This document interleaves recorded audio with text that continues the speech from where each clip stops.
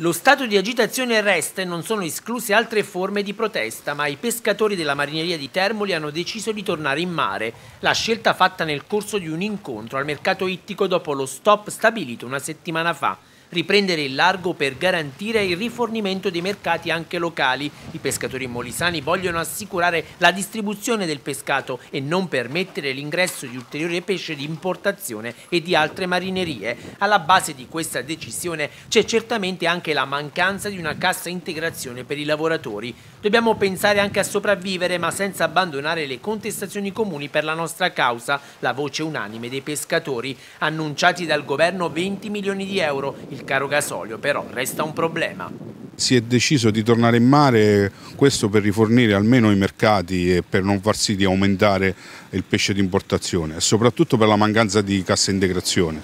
Eh, il tentativo è quello di ritornare in mare e di vedere se alla fine si riesce a fare reddito. Eh, questa è stata una, una, una decisione necessaria presa da quasi tutti, almeno provando e vedendo come va la situazione.